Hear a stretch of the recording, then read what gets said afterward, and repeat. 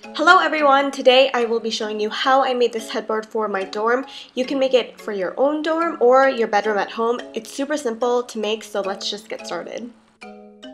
So first, measure out how tall and wide you want the headboard to be.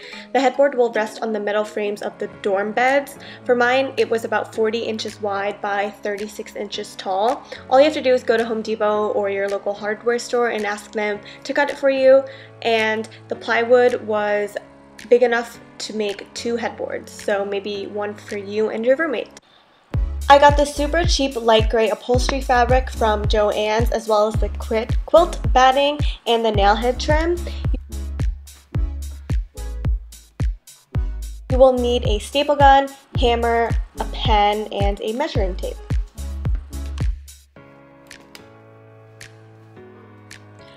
So wrap the quilt batting around the plywood and staple it. You will need to lay out the batting and cut the pieces to fit around it. Just repeat this process until you think the headboard is soft enough or if you're like me and you run out of material. You just need to make sure that the batting and the fabric are secured really tightly so they don't slip away or there's no bumps in the headboard.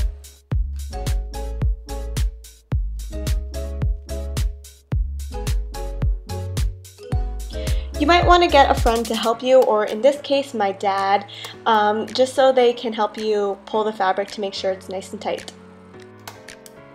Then the final layer will be your upholstery fabric. This is my dad stapling it to the headboard and all you have to do is make sure that it's super tight so there's no bumps and then once you get to the corners what you're going to do want to do is fold it into the headboard if that makes any sense like you see I'm doing right here so you don't have any flaps of fabric sticking out. Now this step is optional if you want to add some nail head trim. We measured out where we want the trim to be and decided on 3 inches from each side so you can see my dad marking with a pen where the trim will go.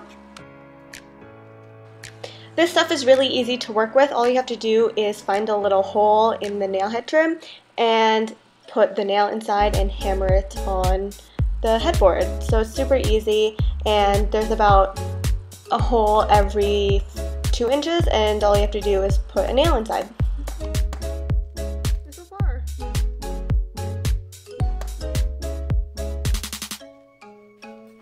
To cut the trim, all you have to do is bend it back and forth a little bit and it will just break apart.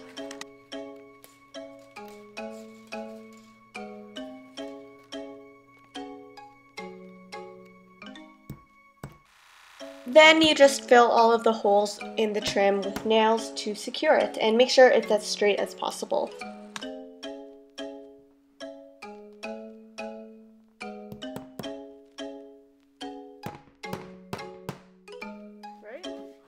If you have a little gap in the trim like I did in the corner, all you have to do is take a nail and fill it in, and no one will ever know.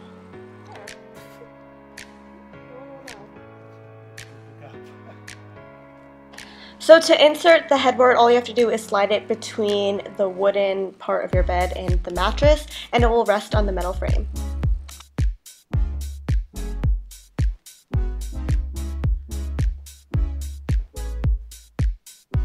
So that was how I made my headboard. It was super simple to make. Let me know what you guys think, and thank you guys so much for watching. Bye!